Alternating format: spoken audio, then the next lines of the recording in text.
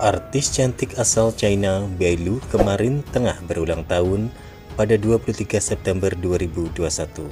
Netizen pun ramai-ramai memberikan ucapan selamat ulang tahun kepada bintang cantik tersebut. Bai Lu yang mengawali karirnya di dunia hiburan pertama kali membintangi serial TV yang berjudul Sun Shong ini saat ini telah genap berusia 27 tahun dengan tahun kelahiran 1994 di Jiangzhou, Jiangsu, China.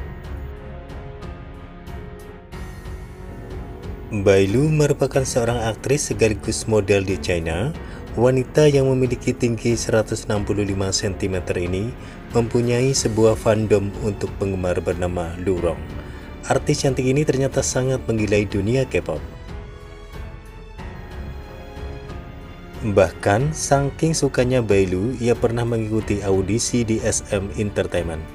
Bukan hanya itu saja, Bailu juga sangat lancar berbahasa Korea Selatan. Sang aktris selalu bermimpi untuk menjadi seorang anggota girl group. Namun sangat disayangkan justru hal itu tidak dapat terwujud.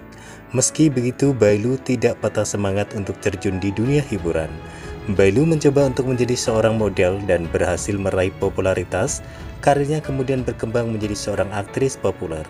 Sementara itu, dikutip dari oversizeidol.com, beberapa waktu lalu Bailu tengah diwawancarai oleh media soal dramanya bersama Ren Jialun yang menuai popularitas.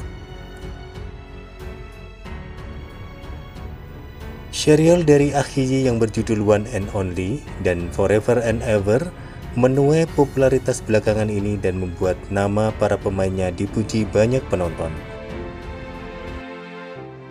Menanggapi hal itu, artis cantik itu ditanya hal yang paling berkesan dalam drama romansa tersebut. Ada banyak adegan-adegan kami yang mengharukan, saya paling terkesan dengan itu. Ungkapnya merujuk kepada adegan ia meloncat dari istana. Berkat drama ini, akting adegan menangisnya sangat dipuji banyak penonton. Bailu mengatakan bahwa ia mungkin telah terlalu dalam melakoni karakternya dan ia juga mudah dalam menangis. Saya adalah orang yang mudah menangis ketika menonton sesuatu. Saya sering menangis ketika melihat video pendek di situs video semacam itu, jelasnya. Tak hanya dirinya, artis berusia 27 tahun itu mengungkap bahwa ibunya juga menangis saat menonton dramanya.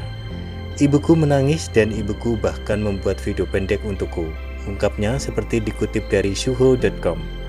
Ia mengatakan bahwa ayahnya mengambil syarbet dan menyeka air mata sang ibu serta menangis bersama.